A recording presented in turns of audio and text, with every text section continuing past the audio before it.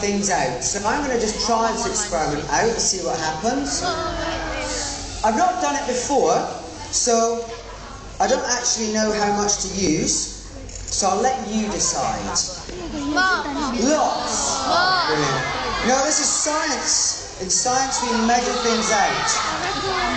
And I'm going to measure this out properly. Here we've got one lump. Is one lump enough? Two lumps. Are two lumps enough?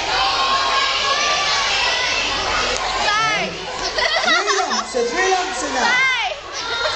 No? You're a very cruel audience. I'm feeling very scared like, right now. I'm going to stop. Stop at three lumps. Right.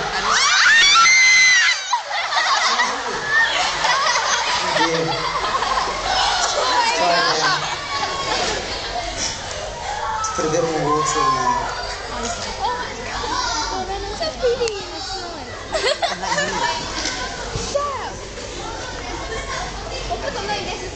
There we go.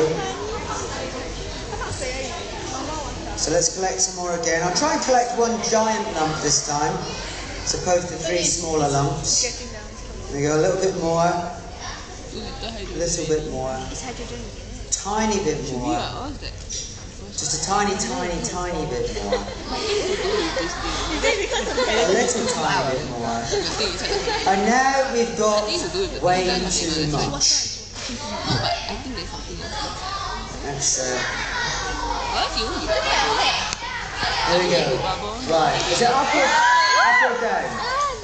Down? Down? Down? Down?